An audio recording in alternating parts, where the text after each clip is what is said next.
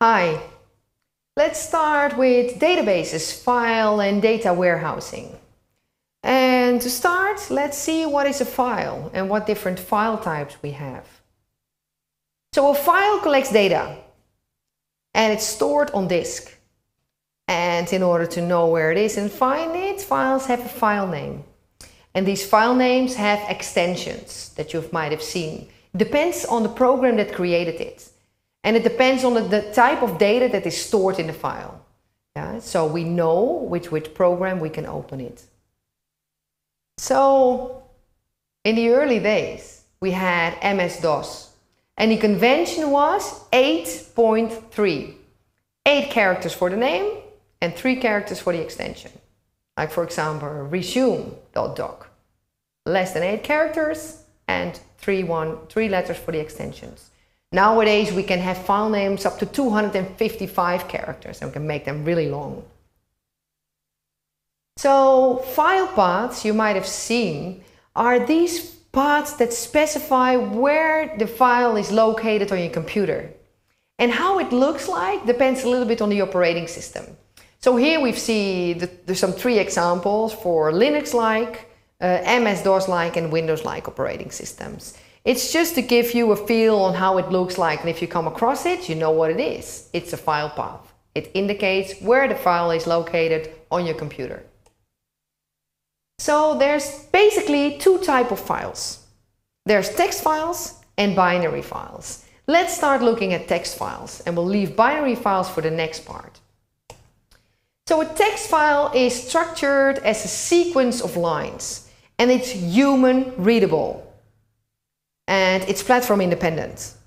And the type of context it can contain are plain text or maybe a little bit richer text that is like um, lim uh, limited with uh, um, mark data or markup uh, tags. It's plain text as, so, as long as it's human readable. So examples of text files and their name extensions you can see here. For example, .txt, this is for plain text. Richer text includes HTML for the hypertext markup language, XML for the extended markup language, EML, for example, that's being used for email messages. You can have extension CCP that is used if you have a C++ program.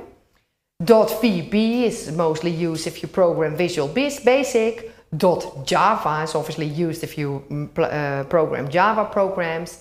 And then there's this thing dot .bak, bug, which is like a backup file made by an application, which is true for many applications. And we have um, comma separated values, which is CSV files. And these are text files that can um, define tables, separating them by commas. Here's an example. This is a plain text file that defines the table that you see below. So the values are separated by commas. Here you see the header, year, make, model, description and price, and it's all separated by commas. And then we know that this is the first row in this table. And here you see the different rows that contain values. It's uh, 90, 97, Ford, which has this model. The description is that it's probably been to the moon. and the price is $3,000. And here you see the other two rows. So this is an example of a data file that represents a table but is a plain text file. In the next part we'll look at binary files.